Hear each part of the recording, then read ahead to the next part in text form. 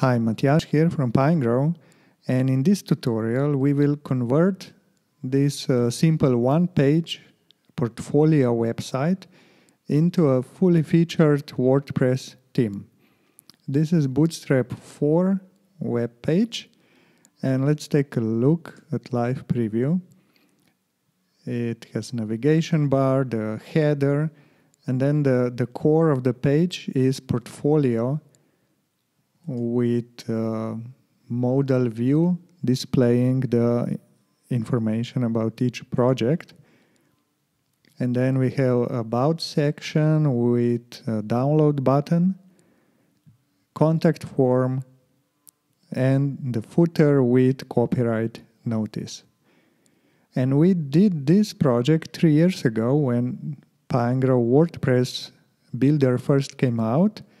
But this time around, we will use all the new features, uh, all the improvements that happened in Pinegrow, and our work will be easier this time around.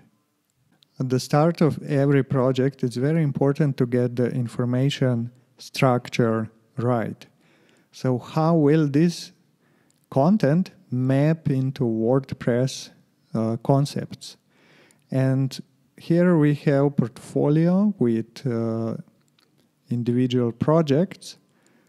So it kind of makes sense to have WordPress posts represent these projects. So each project will be a WordPress post.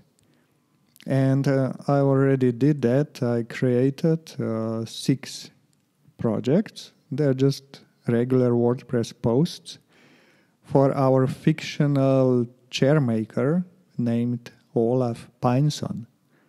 So we'll learn more about him as we build the site. And then looking at other information, we can use the customizer to make all these other page elements editable in WordPress.